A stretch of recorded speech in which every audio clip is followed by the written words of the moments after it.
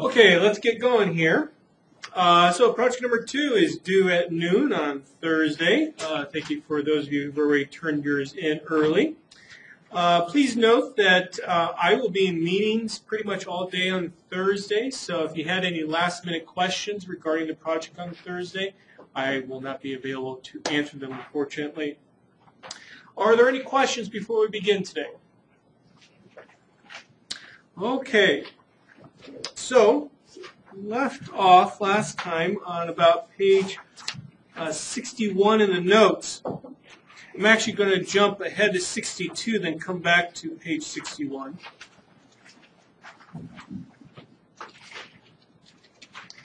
And we were talking about k-means clustering, where k is the number of clusters that we have to uh, pre-specify um, before we even do the algorithm itself. And um, so the purpose of this little subsection then talks about, well, how, how do we, how can we choose k? Um, and there is one numerical way that's available to you to help you choose the value for k. And that's to compute this uh, numerical value that I call w here, which is the within sums of squares divided by the total sums of squares. What does that mean? Well, we've already talked about the within sums of squares in the notes. If I were to put the mathematical value here, it's simply you sum over all the uh, clusters, sum over all the observations, and then sum over all the variables, and then calculate for the rth observation, ith variable in the kth cluster calculate that x, or specify that x, I should say, and subtract off then the mean value for variable i in cluster k. Square it. So this is a sum of squares. Within the clusters, this is a sum of squares.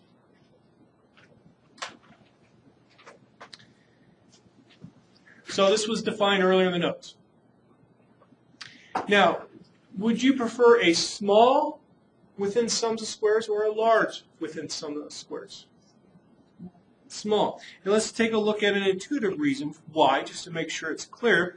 Let's say simply we have two variables, x1 and x2, and here's my cluster that I'm forming.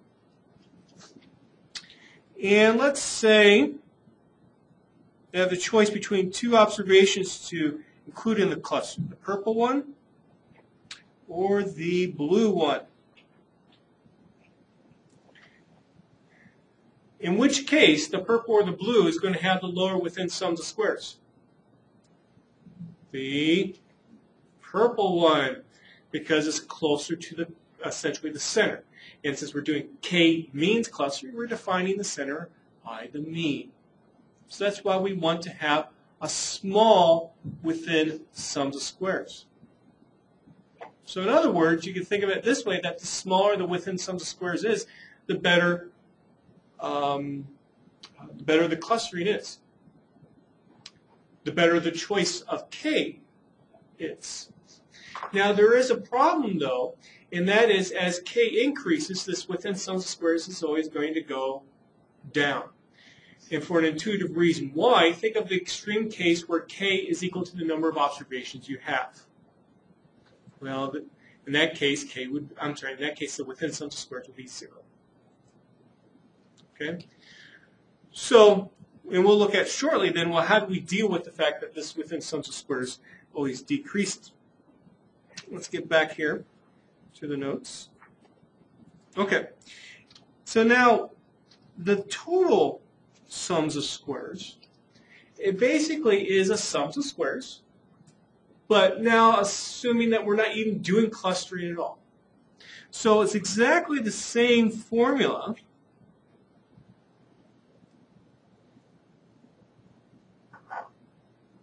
but there's one small difference.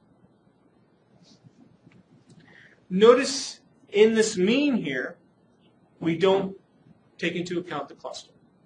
So essentially what we're doing is we're looking at how close is each observation to the overall mean for that variable. for the corresponding variable. So then, would you prefer W to be small or large? Small. Small. Yeah, smaller it is, essentially, according to this numerical this numerical measure, the better the clustering is. Now let's say if you had a W for, uh, you calculate a W when K was equal to 4, you had a W that uh, for K equal 5. Is this denominator going to change at all? No. So in essence, we could just simply look at the numerator only. Uh, but you will often see people look at this, essentially this ratio. This is a number that's always going to be between 0 and 1 and make a decision from that. But I just at least wanted to point out that the denominator here is not, not necessary, but typically people will still include it.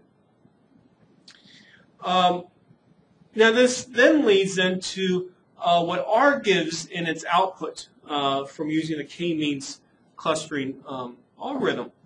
What it gives is actually a, a, a 1 minus W, not W itself. And so what actually ends up happening is that you have the total sums of squares on the bottom, and then you have on the top total minus within. And R actually calls then the numerator the between sums of squares. So you can see some similarities to what you've seen before, like a STAT 801 course, where you talk about like R square measures, or when you talk about other measures in ANOVA that correspond to sums of squares. Um, and so, yeah, so you see some similarities here in terms of terminology and the calculations. Now let me go back to then page, actually I'm going to go back to page 60. Actually, we'll go back to page 58. There we go. Okay, page 58. Uh, this corresponded to the output uh, from the um, uh, corresponds to the output with the four observation data set. And we had uh, k equal to 2 in the output, you see something that says between underscore SS, between sums of squares, divided by total underscore SS, total sums of squares, and you get 54.4%. So essentially, the clustering algorithm is accounting for 54% of the total variation in the data. Now, in this case, would, you, would we want this number to be large or small? Large. Okay, so, you know, just be careful. Uh, we want W to be small. We want 1 minus W, which this represents then, to be large. And again, this would be a number between 0 and 1. Now, what would happen if, now remember with this k-means clustering, uh, it is dependent on the, the result that you get in terms of which observations go into which cluster is dependent upon what the initial seeds are. So what if we actually use a different C number before we ran k-means clustering? And in this case, actually what ends up happening is additional initial seeds are chosen. And this is what we get for then the, uh, the cluster memberships. Meaning observation 1 goes into cluster 1, observation 2 goes into cluster 2, observation 3 goes into cluster 2, and observation 4 goes into cluster 1. Previously, we had observations 1 and 2 in one cluster, and observations 3 and 4 in another cluster. So then to evaluate, well, did we do better with this different result? This is where we can look at this 1 minus W value. You get 44.9%. So which, would, which result would you prefer? This new one here or the one that we had previously? The one from previously because it had a higher 1 minus W.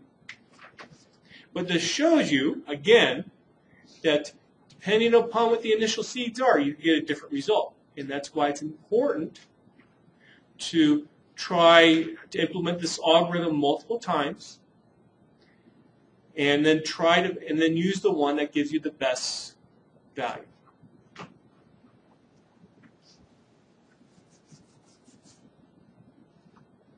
Okay, so then that takes us into page 63. Sorry to be jumping around. So now, how do we make the decision if we're looking at equal 1, K equal 2, K equal 3, K equal 4, and so on? How do we make a decision of which one is the best? Um, and again, what you could do is, you know, you could do, for example, PCA plots or plots of the principal component scores and, and look at them for a different uh, set of values of K to see which result makes the most sense. You can look at parallel coordinates plots. You can also look at this, this W measure to help make a decision. And so what you can do is plot the values of W. So what we have here on the y-axis, we have uh, values of W. And they are plotted versus values of K.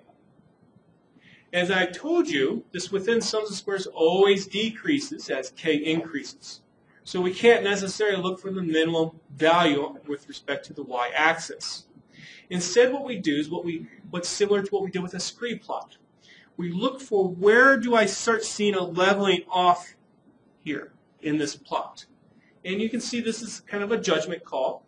You know, another person might have a different answer in the end. And sometimes it's difficult to find where does this plot tend to level off. The reason why we're looking for where this levels off is because what this says is that for larger values of k, after this leveling off occurs, you're not really getting that much of a benefit from increasing k. So why don't we just, in this case, stop at k equal 4 and choose that as the number of clusters.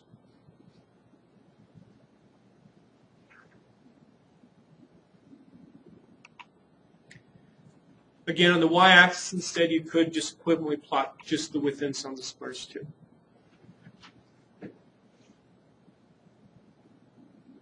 Okay, so with this tool and also the various plotting tools that we've looked at, again, principal, parallel, parallel coordinate plots, uh, principal uh, uh, component score plots, you can make a judgment. Are there any questions? Now, before we actually apply this then to a real data set, uh, let's talk about another topic, and that is, you know, the results from these different cluster seeds. As I just mentioned a few minutes ago, you know, our k-means clustering is dependent upon what we use for the initial cluster seeds. The algorithm that we have is trying to essentially minimize this within sums of squares, but it's not a perfect algorithm. It may not get the overall minimum. Um, so because of that, we need to uh, rerun the k-means clustering for the same k uh, with a number of different uh, initial seeds. And there's a few different ways to do that. The first way is essentially what I had just shown you with the four observation uh, data set, and that is simply set a different seed before k-means, run it a few times, and compare the results. The best result overall you could define as the one that gives you the smallest within sums of squares, or the largest 1 minus w. Please note that error that's in the notes, please change. I think that was uh, originally increase. It should be decrease.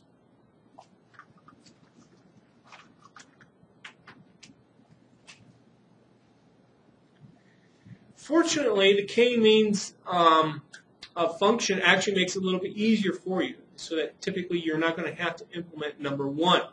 And instead, in this uh, second way, is that you can use an argument called n start in k-means.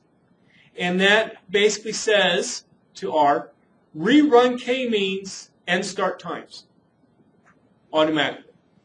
So if I say n start equal 10, what R is going to do is essentially run the k-means algorithm 10 different times using 10 ran randomly sets, ran randomly chosen sets of initial seeds. And then it will return to you the uh, best results, which correspond to the smallest W. It will only return that set of results.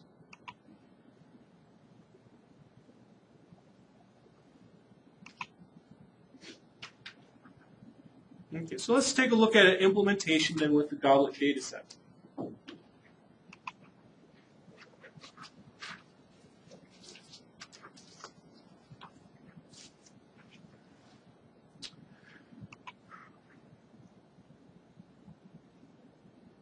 So what I decided to do was um, run k-means, starting with k equal 1. Obviously, it doesn't make sense to use k equal 1, but it, it obviously it also too is a nice place to start uh, for comparative purposes here. Start at k equal 1, go up to k equal 10. Now, why didn't I go larger for my values of k? Well, I only have like 24, 25 observations. You know, probably 10 clusters is too much. If I uh, ended up choosing, let's say, 10 or 15 clusters, I would probably not even use cluster analysis. Um, also, what I'm going to do is use n start equal 10. Now, there's not a set rule on how many, what, what that value should be. You know, obviously, the larger it is, the better. The smaller it is, the worse. Well, you have to make some kind of choice, and I thought 10 successive runs would be uh, good, especially with the fact that, again, I only have 25 observations. Or is it 24?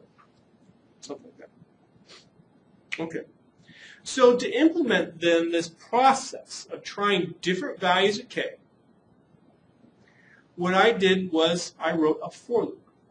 Now we saw for loops earlier in this cluster analysis set of notes. And basically what I'm going to do for every k, I'm going to implement this within a for loop and then save the results. So here's my code. The values of k that I'm interested in is 1 to 10. So 1 colon 10 again gives me integers 1, 2, 3 up to 10. I'm going to save my within sums of squares into an object called save.wss. Um, and as a way and as a way to initialize this thing that I'm, this object, I'm essentially going to create a vector uh, that has for now just zeros in it. And the way that I can create that vector, we probably haven't seen before, is just to use then uh, the function called numeric.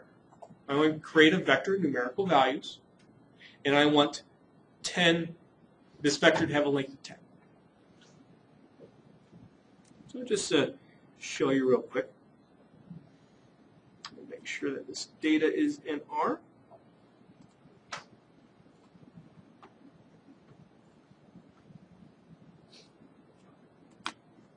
So save.wss, you can see, has been initialized to die 0. Now, I'm going to set a seed so I can reproduce my results if I need it for some reason. You know, maybe to go back, if I got something strange occurring, I can go back and examine better what happened. And then here's the start of my for loop. I say for values of k, could used a different letter, but it seemed to make sense to use k, in 1 to 10, I want to do the following. The first thing I'm going to do is implement the k-means function, function just like how we've done before.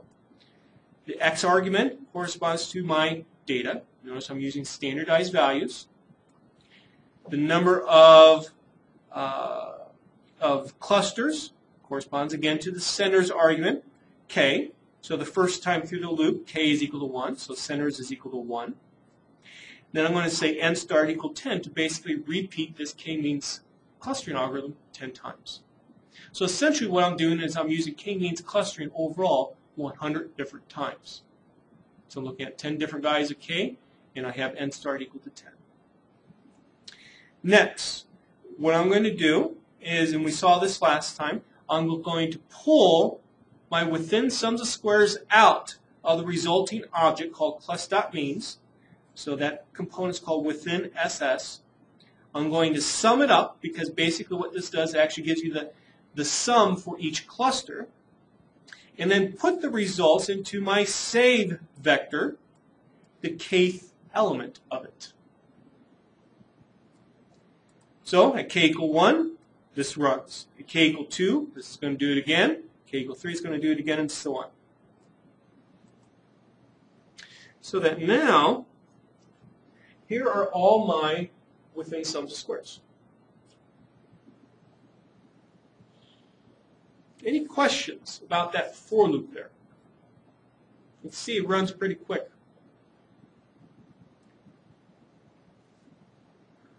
Okay, now I want to calculate W. And when I was going over my notes last night, I thought, well, let's uh, calculate the total sum of squares a little bit easier. And so what I did was in the notes, I decided to remove that and then replace it simply with clus.means. I'm going to pull out the total sum of squares from that. So in the very last implementation, when k is equal to 10, I'm going to get the total sum of the squares. It's going to be put into the clus.means object. And now here I'm just going to pull it out. Remember, the total sum of squares doesn't change as a function of k.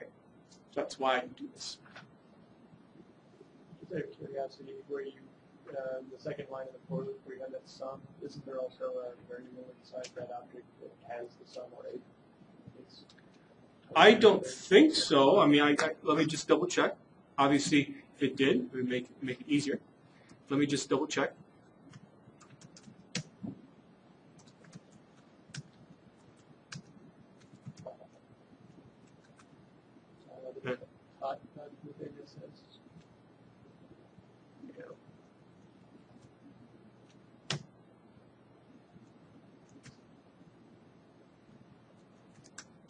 Yep, you're right. That makes it a little bit easier.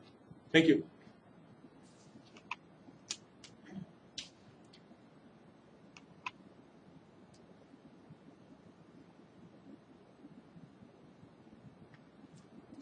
I was just trying to make our lives more difficult.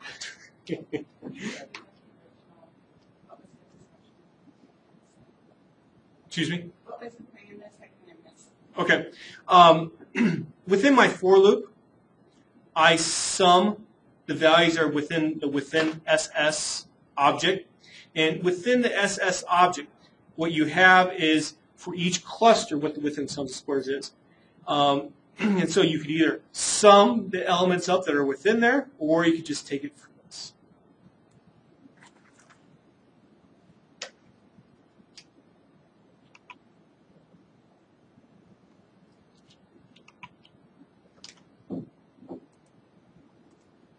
Okay, so I calculate the total sums of squares, or I, I, I get the total sums of squares out, and then simply I create a data frame here, and obviously that is not as well as uh, constructed as well as it should have been. Sorry about that. So this is for k equal 1, 2, 3, down to 10. Here's a simple fix to that. so instead of using k in the data frame, use k dot levels. And there's the result.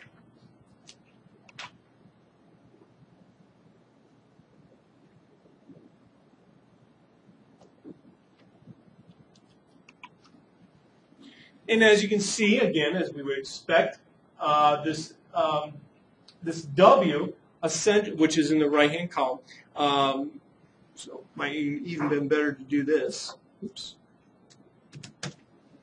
This W decreases as a function of k. Okay, let's actually look at a graph of that. So I just simply use uh, the plot function as what we've done many times before, so I'm not going to go over the details. And here's a plot. Again, what we're looking for in this plot is where does W start leveling off? And I don't think that this is necessarily uh, a clear-cut case for where you can say that W levels off. I would say, generally speaking, you know, maybe at four clusters, maybe at five clusters, maybe even at six clusters. You know, this is not a perfect, this, this procedure is not always perfect. Um, and, but this is what, you know, based from what I see in this plot, I'm, I'm thinking four, five, or six maybe.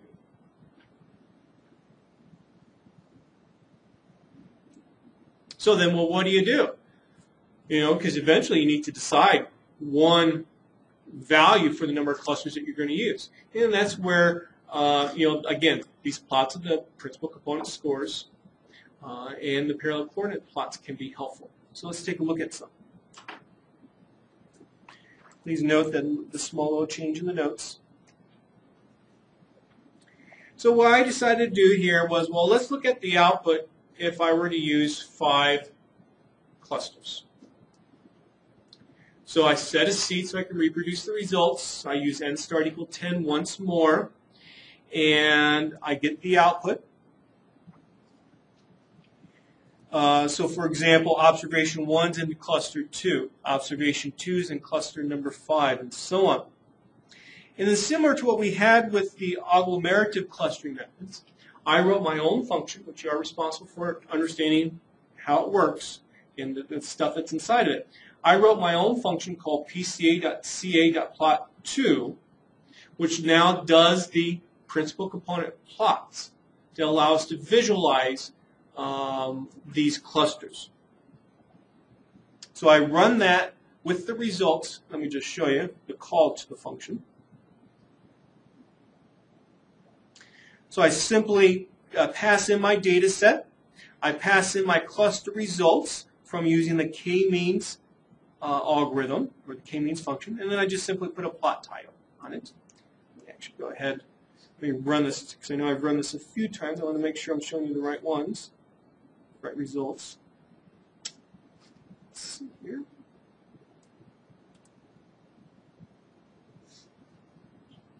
Okay Let me come back over here. I'm going to make this a little bit bigger. So with five clusters, this is what we get. So on the left-hand side, uh, principal component number one versus principal component number two. Here are my clusters. 4, 5, and 17. 23 observations 23 and 24. Uh, notice here, 3, 16, and 18 are now together in one cluster. Then we have this red cluster up here. We have a blue cluster down there, light blue. So that's what this is saying.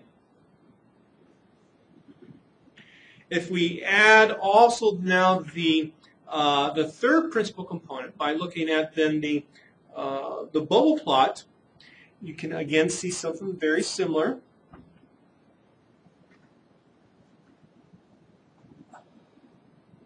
One thing that kind of concerns me is that notice how in this lower left-hand corner uh, cluster, we see both the blue and the red uh, bubbles being joined together. What that means is that we have some positive and some negative third principal component scores in the same cluster.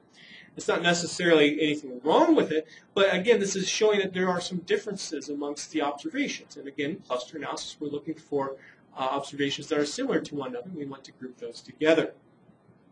Let's to take a look at some 3D plots.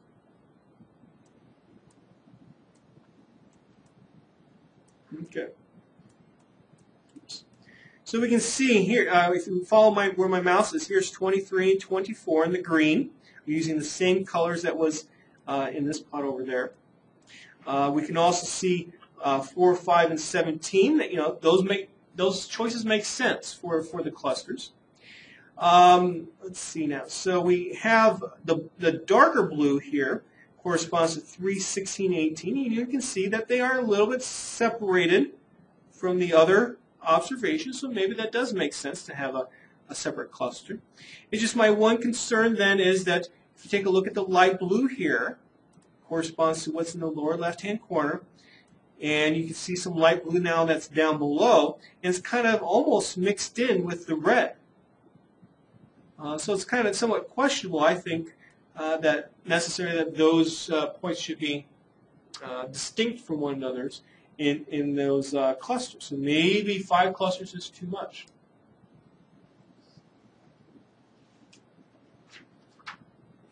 Take a look at a parallel coordinate plot. This is on page um, 69.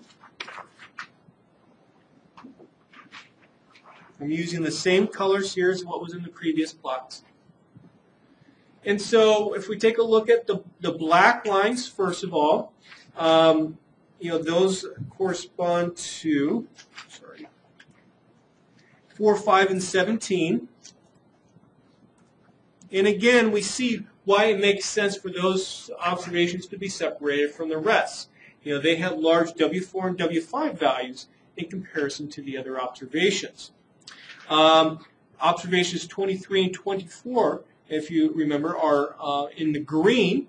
And again, there's you know distinctions between those observations than the others. They have large W1 and W2 values, just like the black, but now they have lower W4 and W5 values. So that's why they're distinct. That's why they're different. But what we also see here is that there's a kind of an overlap between the red and the blue. And again, just to put this in perspective, that corresponds to what we are seeing in the lower left-hand corner here between the red and the, I should say, the light blue.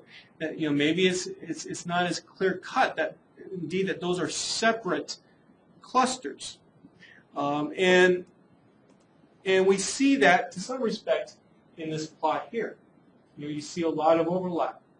There are some cases where you know, it looks like maybe the red is higher for W1 and W5. That maybe that's what makes it distinct. Maybe that's what made the algorithm separate those out into separate clusters. Or maybe, you know, instead, five clusters is too much. Indeed, maybe we should have just had four.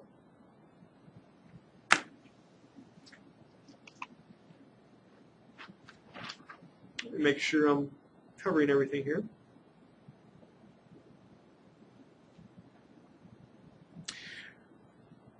So again, in these kinds of situations too, if let's say this is the, if, if you are satisfied with uh, the results from this clustering algorithm, you know, this is where now you would want to try to interpret what these clusters represent. And that's what I have shown on page 70 in the notes. Um, and, I, and I kind of said that in, in, in class here. Uh, but, you know, it's always important to try to interpret what the clusters represent in, in the context of the original problem. It's why you're doing the cluster analysis in the first place. It's not just an exercise.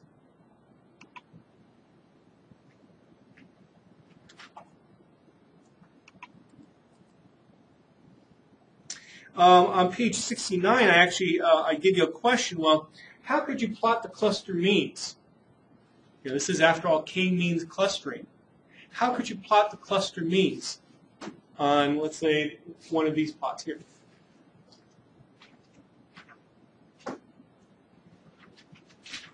Well, obviously, you would first need to find the cluster means. How would you find the cluster means?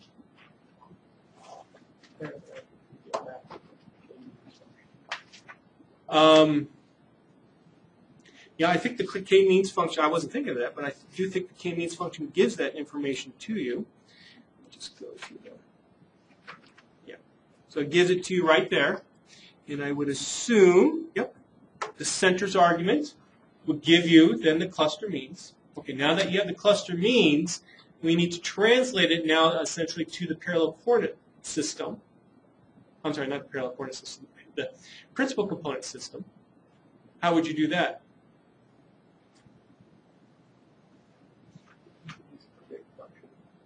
Yeah, use the predict function to find the principal component scores.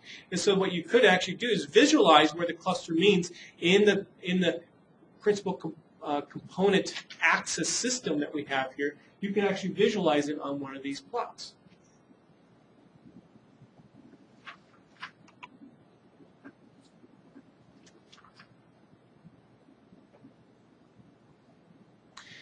So on page 70, then I say, well, you know, as, as, I, have as I've already kind of said out loud, you know, I'm not necessarily satisfied with uh, the, uh, with five clusters.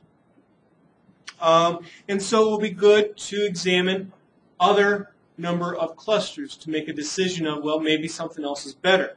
And so what I have here said, examine some different number of clusters on your own. I have the code set up in the program already to help you do that. Just for illustrative purposes, let's look at three clusters. Let's see if we think that this is better. Okay, so with three clusters, this is what we get. 4, 5, and 17 again are together, but now notice where 18 is. 23 and 24 together as before, but now notice 10 and 12. Uh, uh 10 and 22 are there. And now we have in the lower left-hand corner all the observations kind of grouped together.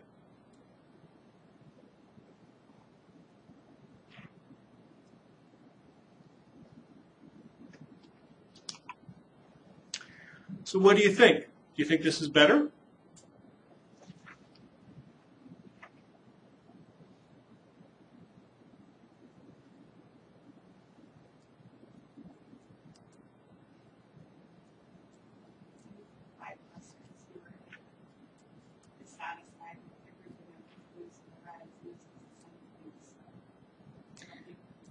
Well, I was dissatisfied with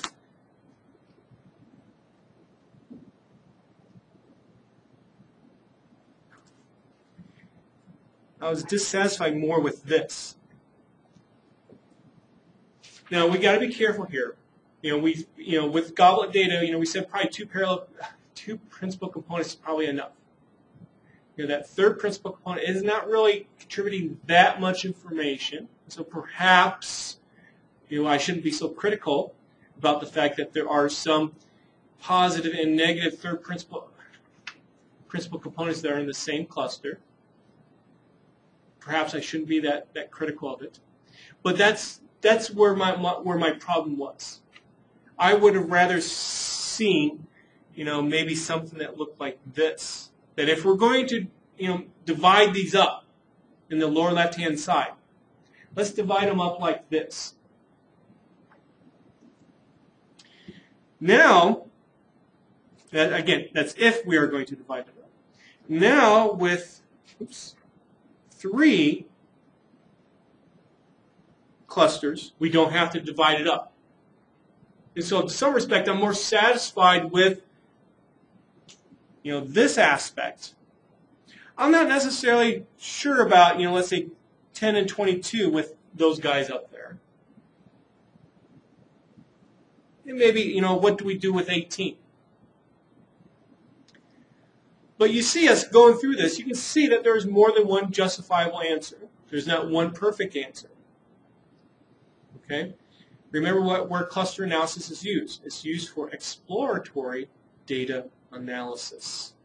We are trying to find partitions or groupings of like observations. And in the real in real data sets, what's often going to happen is that there's not going to be a clear-cut distinction for some observations.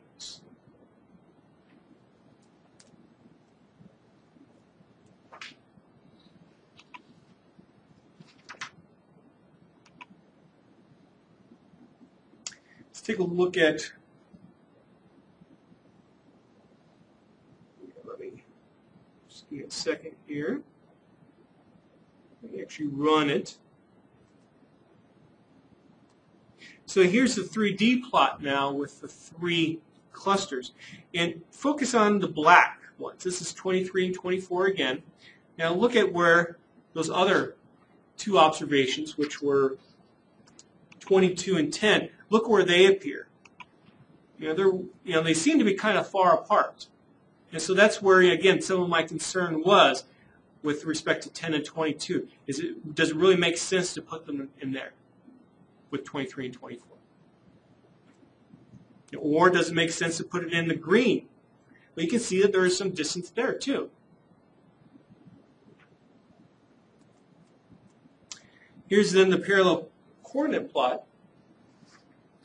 Um, and you can see, for example, if you look at W2, focus on the black uh, cluster. This is, here's, here's 23, look at my mouse, here's 24. But now, here is, let's see now. Let me actually go over here. Oops. But here are the, the other two observations that was somewhat questionable. Do we group them with 23 and 24? You can see that there are some differences. And in fact, they are kind of overlapping where the green is. You know, perhaps as a student, you would always like to have clear-cut answers. You know definitely what the correct answer is, and as you can see here, there could be more than one correct answer. You just need to be able to justify your, your results kind of, you know, went through that. Let's see. Okay. So that concludes then cluster analysis. Any questions?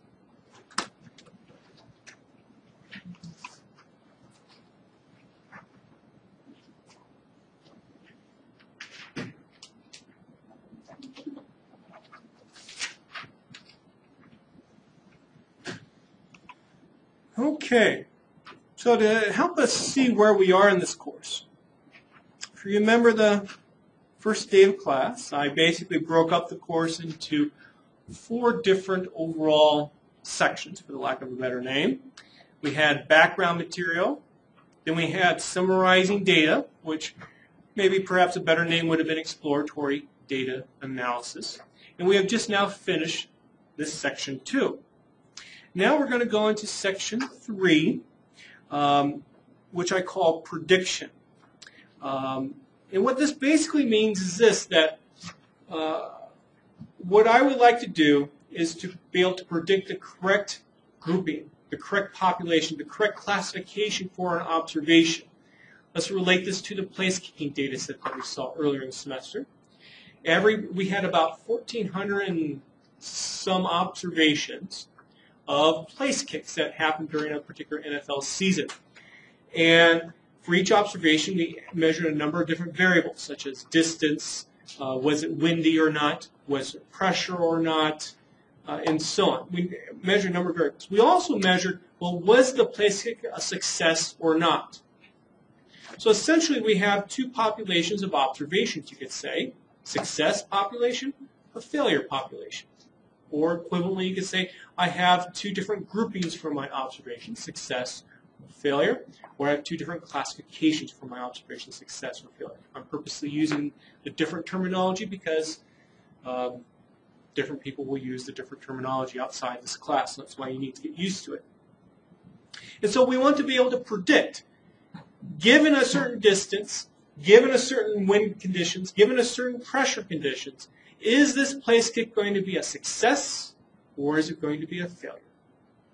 That's going to be our ultimate goal in this prediction section.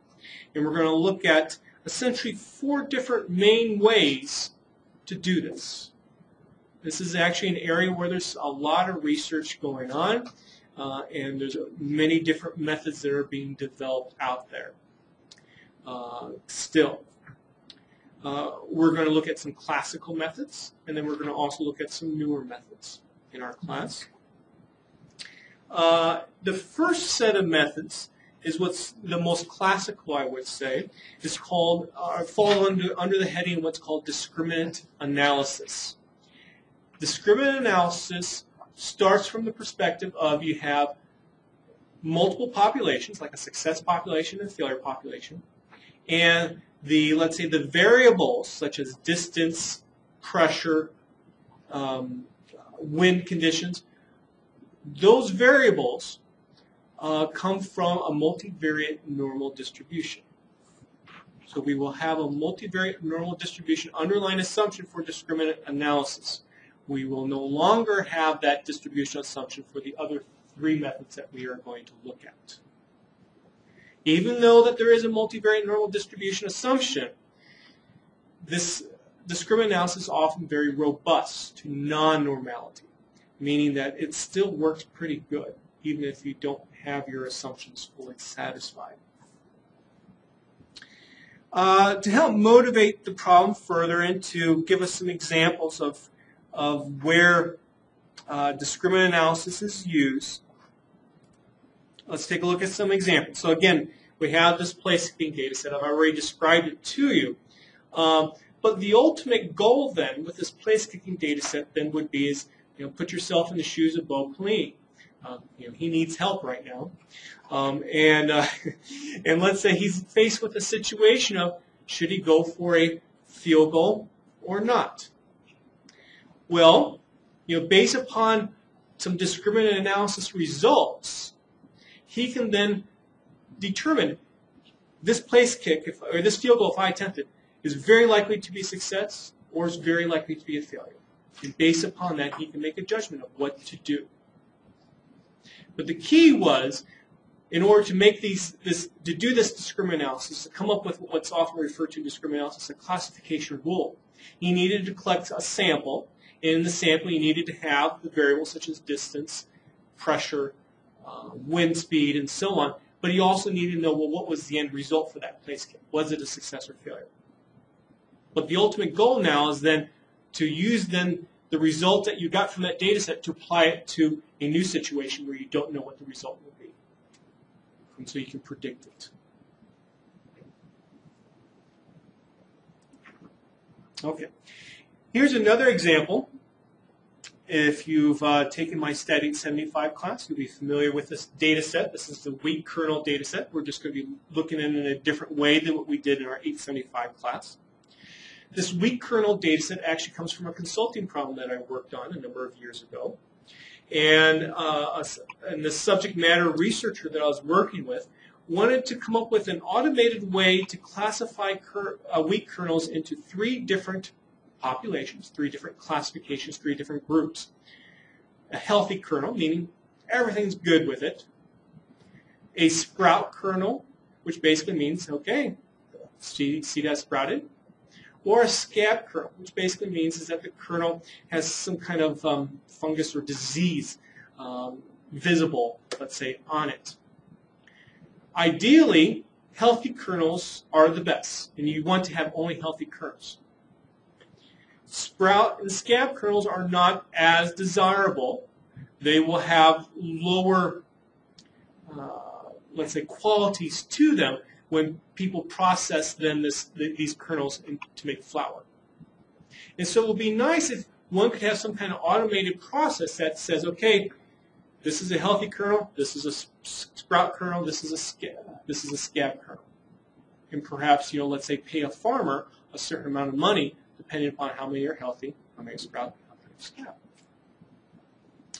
And so to develop this automated method, the researcher developed a way to automatically determine what the density of the kernel is, the hardness of the kernel, the size, the weight, and the moisture content of the kernel. And so he took a sample, about 275 kernels, I believe, put it into this automated system to come up with this information. Also, what the researcher did was he had, let's say, some experts in the field actually physically look at each of those corresponding kernels and determine, is it truly a healthy one? Is it truly a sprout one? Is it truly a scab? So we know what the correct classification is. What we would like to do now with the scrim analysis, and this is what I actually did with the researcher, was based upon just these measurements here, could I correctly classify? Could I correctly find the, the populations for these kernels based upon those measurements and using this technique called discriminant analysis?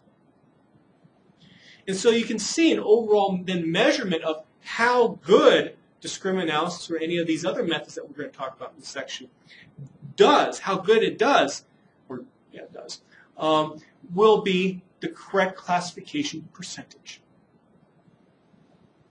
The higher this percentage is, the better the method is. And when we have, as you saw, four different methods that we're going to be looking at of how to determine populations, how to determine classifications, you can see the overall best one is going to be the one that gives you the highest percentage of correct classifications. And as you might expect, since we're talking about four different methods, not one method always works best in all situations.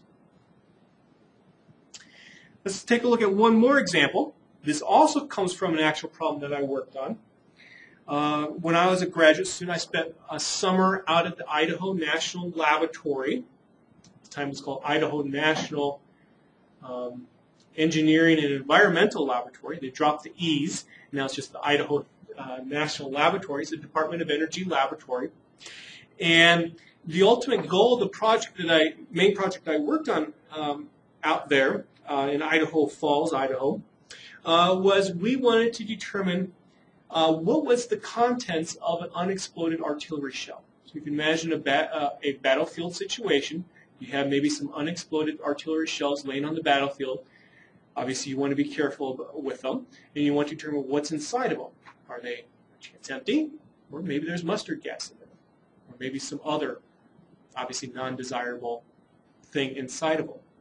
Um, and so we wanted to develop ways to determine what was inside it. This was an Army-sponsored uh, project. And uh, my, my mentor, Larry Blackwood, and uh, an engineer, fortunately I can't remember his first name, Rodriguez, um, uh, they uh, put together, uh, they developed some methods to, to do this. Um, but then when I was there, they wanted to develop some better methods, basically methods that would not um, let's say, contact the artillery shell uh, when it's trying to take some kind of measurements to determine what's inside it. obviously you probably don't want to touch the artillery shell. That might cause explosion. Uh, so we wanted to come up with non-contact methods to determine what's inside an artillery shell. Um, and basically what, what, what, we, what we did, and actually I was involved with the data collection too, which is unusual for a statistician, uh, we basically were bouncing sound waves off it. And based upon the acoustic spectrum that we got back, that helped us determine what was inside. But since this was a uh, the beginning of this research project, of this non-contacting way of determining what's inside the artillery shell, we didn't actually use artillery shells. Instead, we actually used something else as kind of a proxy to see if we could get to work with this, this easier thing first. If we work for the easier thing, then we're going to try for the harder thing, these artillery shells. So I, I actually have um, an object that we collected data on. I was able to keep it as a souvenir. So lucky. Um, and so I spent then my whole summer trying to determine what's inside a Sunny D juice container. Well, juice, perhaps, but we also pour the juice out of some Sunny D juice containers, and we put water inside. We left some that were empty, and we left some, and we actually uh, put sand in some of them. And so you can imagine, you know, the, the acoustic spectrum when you're, let's say, um, focusing some sound waves on it are going to probably be different for sand versus if it was empty. Um, so that's what I spent my summer on. Uh, and I will, I will uh, give you some more information about what happened as we go along in this section. So you can see that you know these discriminant analysis methods and just methods overall that are trying to predict a classification, try to predict a population, are quite important, and they're very um, used a lot. Uh, please note that these small clarifications are in the notes. Um, so what discriminant analysis does is something similar to what normal linear regression does. You have some explanatory variables or independent variables, and you're trying to predict a, uh, a response. In normal linear regression, our response, let's call it y, has a normal distribution to it. It's a continuous value. Here instead, our essentially our response corresponds to our population or our group. And obviously it's then categorical in nature. You know, success or failure, for example, with the place kicking data set. So because of that, then we have to use other statistical methods. We can't just use normal linear regression. This area of prediction for groups, prediction of populations is, is huge. Um, and again, one could teach a whole course on it. Uh, to give you an idea of just how big it is, take a look at the multivariate and the machine learning uh, uh, CRAN task views on the R website. And You'll see all the packages that have been developed just so far uh, to do this kind of stuff. Okay, so now let's talk about then the details of what discriminant analysis does. We're going to start off with the simplest case possible. We have two populations, and we're also going to make some additional assumptions coming up, and then we'll, we'll generalize as we go along. So let's suppose that we have two multivariate normal populations. And just to make things easier, I think it's easier, we're going to say population 1 is simply denoted by the Greek letter pi 1, uppercase pi. Population 2 is denoted by pi 2. So pi 1 has a multivariate normal distribution, p-variate, meaning p variables to it. It has a, a mean, mu 1. It has a covariance matrix, sigma 1. Population 2, then, multivariate normal, mean 2, sigma 2.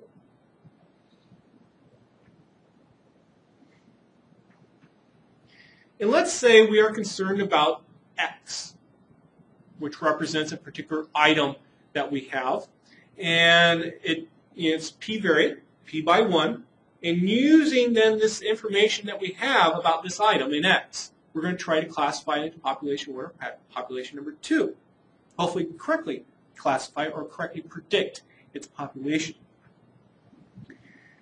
We're going to look at four different ways to do this, and they all have equivalencies to them. So you might be thinking, well, why am I why don't I just focus on one instead of talking about four?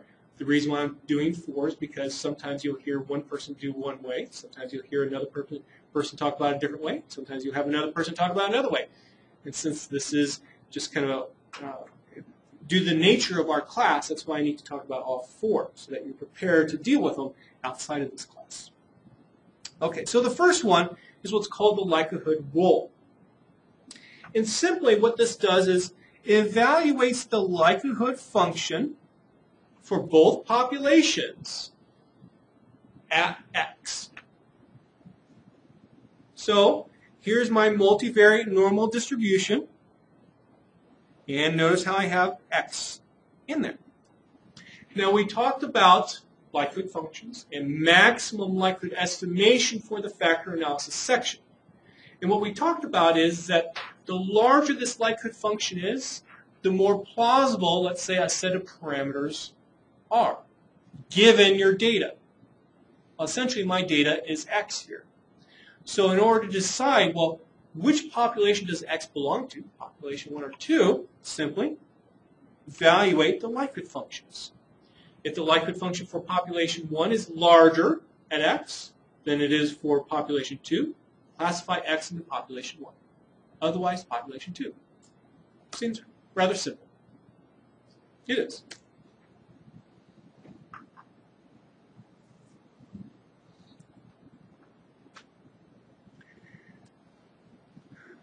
Now we're going to talk about the second way to do this. This is often referred to as the linear discriminant rule. And we're going to make one simplification. Suppose you have equal covariance matrices. We'll look at later how you can get around that. But let's suppose that we have equal covariance matrices. If we go back to the likelihood rule, you notice some simplifications then. If sigma 1 was equal to sigma 2, notice the stuff outside, outside of E would be essentially the same. So you could throw that out. Uh, obvi obviously, we both we in both cases we had that e there. Well, you could throw that away. And the only thing that's going to be then different between the two likelihood functions, if sigma 1 is equal to sigma 2, will be the stuff that you see inside of here. So you can you can play around with it, do some math, and find out then that the likelihood rule then simplifies down to just this. Choose population 1, which will then correspond to the, max, the, the maximum likelihood function.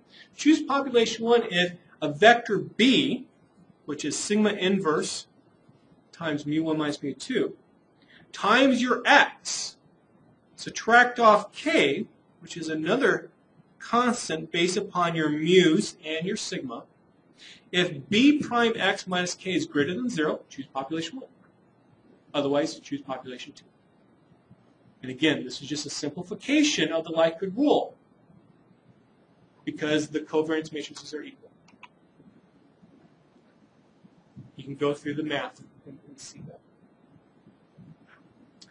So, that's rule number, let's say, uh, classification rule number one, or two, I should say. Rule number three, or the third way to go about doing this, is what's called the Mahalanobis distance rule. Mahalanobis is a famous statistician, Indian statistician, and please make this, uh, just wanted to make sure it was clear. Suppose, again, sigma 1 was equal to sigma 2. Then the likelihood rule, and also then the linear discriminant rule, is equivalent to looking at the problem in this in this way. Let's calculate a distance. A distance that x is to the corresponding population, population 1 or population 2. Now we talked about how to calculate distances between two vectors in the cluster analysis section. If you remember Euclidean distance was simply, say I have two vectors x1 and x2.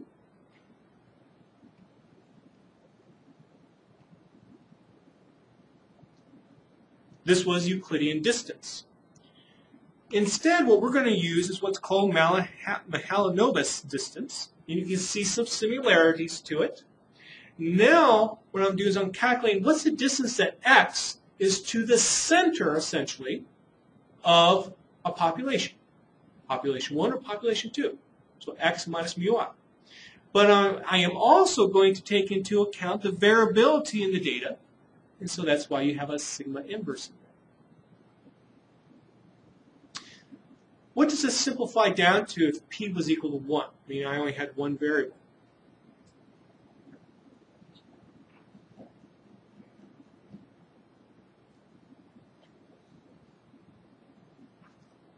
You're going to have something in the numerator, you're going to have something in the denominator.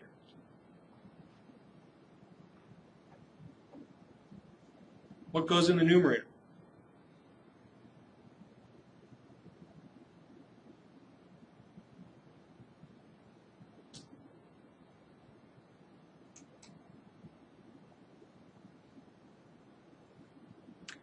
Well, think about that.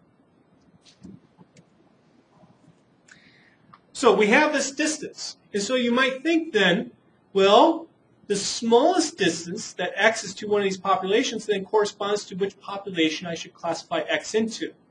So if I have two distances, let's call it d1, the distance that x is to population 1, d2, the distance that x is to population 2. If d1 is less than d2, well, then classify x into population 1. Otherwise, population 2. And that's how it works. It's just, again, a little bit of a different way to think about this, but it's still all equivalent, mathematically equivalent. And so this is just kind of a graph showing what we would do. That, uh, you know, if, if I have two variables, x1 and x2, and let's say the variances are the same between these two variables, uh, the, the ellipses there that you see are contours, the same contours for the two multivariate normal distributions.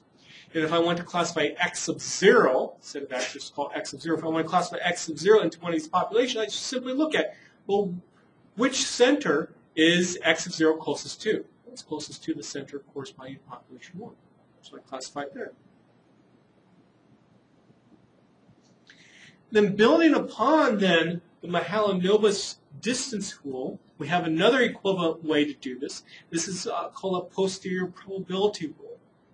You know, you might be thinking, well, it would be nice if I could somehow say the probability that x should be in population 1 is 0.9, the population, the probability that X is in population number two, or should be in population number two, is let's say 0.1. Well, since population one had a higher probability, okay, classify in population one. That's what this posterior probability rule essentially does.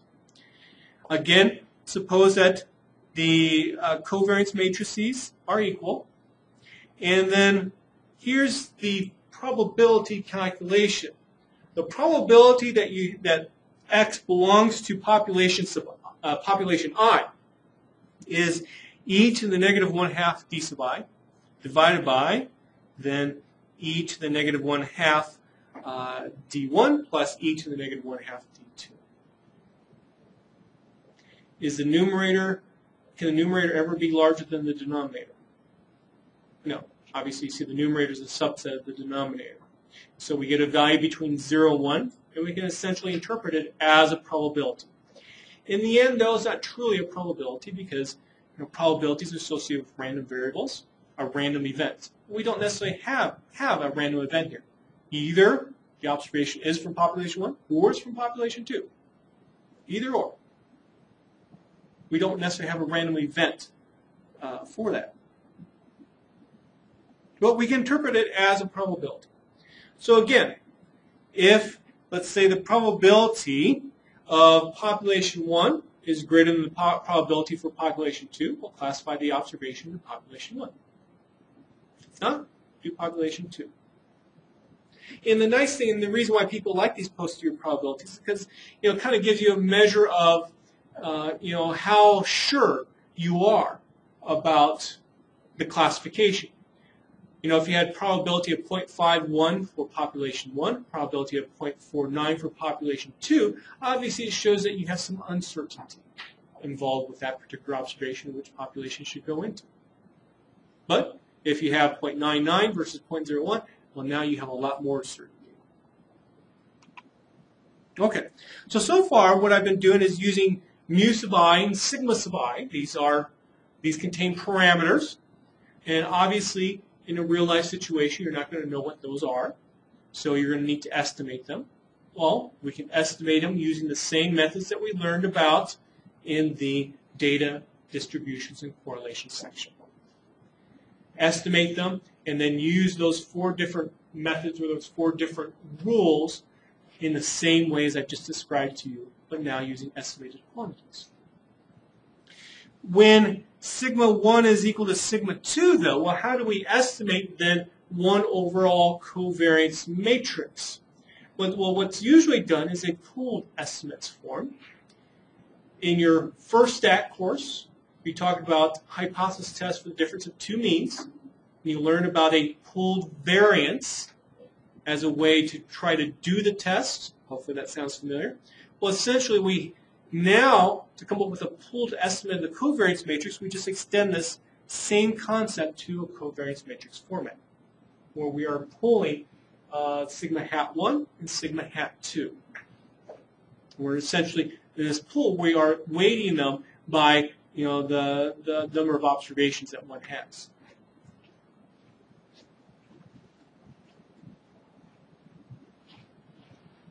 Okay, so page 8.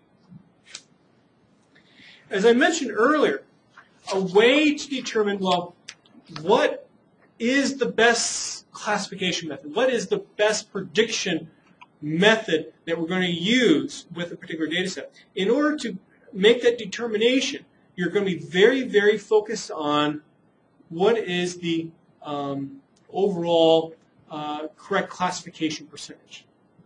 Know, am I correctly classifying these observations into their corresponding populations 90% of the time? Maybe just 70% of the time? Maybe just 50% of the time? Which is going to give you the highest correct classification percentage? Or equivalently, which is going to give you the lowest incorrect classification percentage?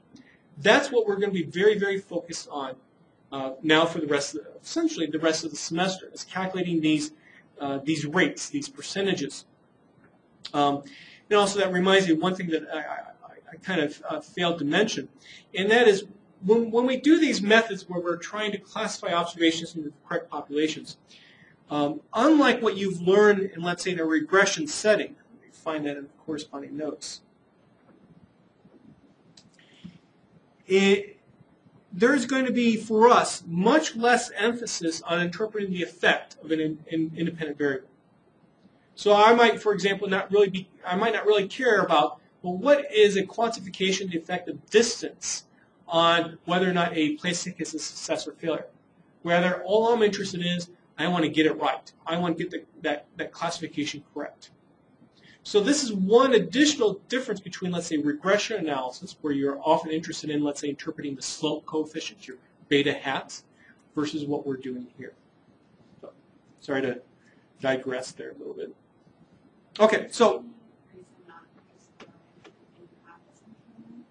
well, what can happen is is that uh, some noise could be put in there, and also in which then might uh, it can at least a little bit um, lower your uh, correct classification percentage. It could. It doesn't always. But also, you know, from the standpoint of um, if you don't need a variable, why waste your time and collect information? Okay. But there will be a, a lot less emphasis, too, on variable selection for what you were basically thinking. A lot less emphasis. Okay, so how can we estimate then the correct classification rate or the incorrect classification rate too? There's going to be four different ways. The most ideal way to do it is to go out and collect some new data. So for example, with the place-kicking data set, you know, I had data from the 1995 season. Well, in order to check how good it works, this, this method that I can develop based upon this data, how about then I go out and collect data now in the 1996 season? Now, for the 1995 season, it took me 40 hours of entering in the data. Do I really want to spend 40 hours entering in the data again for the 1996 season? Well, I'm not a graduate student anymore, so no. Uh, but, uh, you know, you, you know I, I make fun of that, but you can see the problem then with collecting new data is that, you know, it could be costly. It could be time consuming. And so while this is the best way to evaluate how a particular method is going to do, is often the most impractical way. So something very similar then is to use what's called a holdout data set. Now if you've had, for example, a full-fledged regression course, you've heard of, let's say, model building and validation data sets, or equivalently some people call them training data sets versus calibration data sets or test data sets. Essentially what estimates from a holdout data mean is this. Um, and actually I did do this with my placekicking data set. You're going to see this shortly. I actually collected data on about 1,800 observations, 1,800 place kicks. And before I even touched the data to examine, you know, various classification methods, I put aside 400 observations. And then what you've seen so far are the 1,400 observations that I actually built models upon. I build the models on those 1,400 observations, see how it works with that, and then I try it out, try this model out on these 400 observations that I kind of set aside. So these 400 observations are kind of serving the role, role as collecting new data. I didn't actually collect new data but it's kind of serving that same role. So I'm going to try my methods out on that and, correct, and calculate how, how well does it classify. Do I get 90% correct classification? Do I get 80%? How well?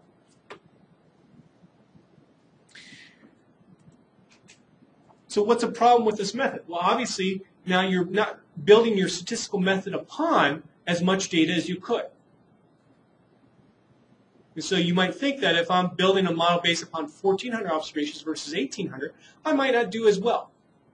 But fortunately, 1,400 is a, you know, a pretty sizable number, so I wasn't really worried about that. But let's say instead you're left with a situation, this is what I actually had when I was out in Idaho, you know, it was a time-consuming process to collect this data. And so I basically might have a data set of size 40.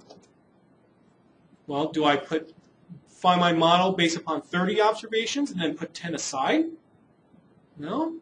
no now you're not, you know, you're, you're really, you know, removing a lot of your data you don't really have much data to begin with. You know, that, that's often a question then, or a problem that uh, someone faces. Also, something else to, to, uh, uh, to, to think about here is if I were to apply a, a, a particular statistical method such as discriminant analysis, to these 1,400 observations, will it do as well in terms of the correct classification rate? Do you think it will do as well with these 1,400 observations as it would with these 400 observations that put aside? Do you think they would do equally as well, or do you think it would do better in one or the other?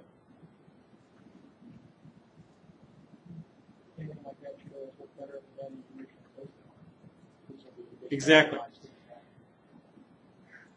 if you build a statistical model or if you come up with a statistical method on some data, you're trying to find the best method for that data. And typically, not always, but typically, that method's going to work best then on that data versus if you were to go out and collect a new data set or if you were to have a holdout data set. Because it wasn't built upon that extra data. But that's why it's so important to have a holdout data set or to have go out and collect new data so that you can get, let's say, I'm going to use a statistical term here, an unbiased estimate of the correct classification rate. By just applying to your data itself that you built your model or you built your statistical method upon, you are likely to have a biased estimate. Bias down, in, I'm sorry, bias up in terms of correct classification rate. Okay, we are out of time. Are there any questions? Okay, that's it for today.